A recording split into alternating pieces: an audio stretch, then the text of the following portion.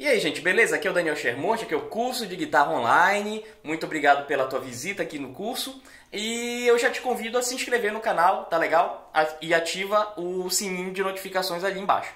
Hoje eu vou falar de um lick que eu inventei aqui, uma frase, né? Enfim, um solo legal para treinar, principalmente para afinar o bend. É bem interessante. Ele está baseado em alguns acordes e é em cima desses acordes que eu criei esse solo.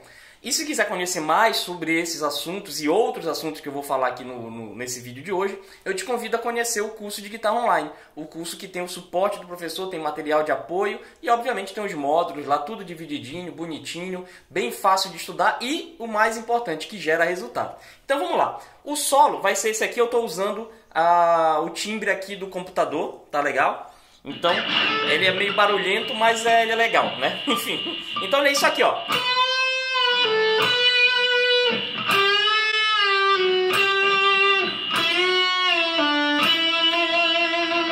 E aí, com a música, ó, eu gravei aqui uma música, ele fica assim, ó.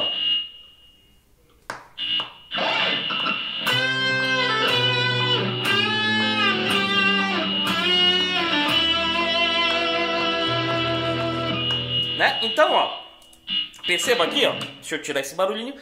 Basicamente, tu vai trabalhar com a, a, a escala né, de forma decrescente, ou seja, vai de, do, do, mais agudo pro, pro mais grave. Né? Então, tu vai começar aqui do Si, ó. Si, tu vai fazer, puxar pro Dó. Volta pro Si. Ó. Então, ó. Aí depois tu vem pro Sol, puxa pro Lá.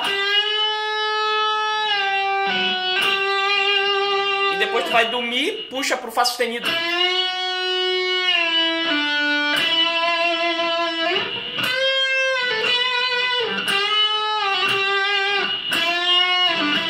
Mais uma vez.